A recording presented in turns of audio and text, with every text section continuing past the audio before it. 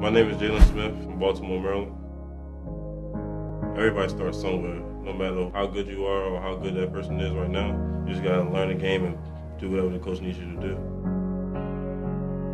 What I want my legacy to be is to allow everybody to know that I'm a hardworking player and that every day I gave my full effort every night, put my body on the line for my team, and just making sure that I make every play count. Smith got a piece of it, tapped it out. Here comes Cowan. Cowan, left hand, no. Follow dunk is there for Jalen.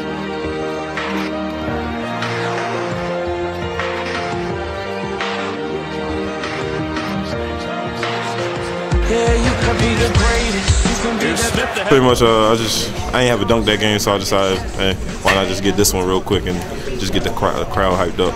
I go banging on his door. You can throw your hands up, you can beat the clock. You can move a mountain, you can break rocks.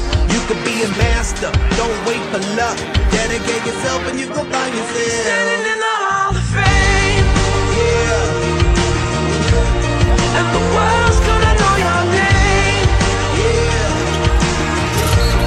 Cause you burn with the brush. I, I've been putting a lot of work in uh, Coach Turgeon after every practice. He doesn't let me leave the gym until I make 53s in different spots and, and different uh, movements.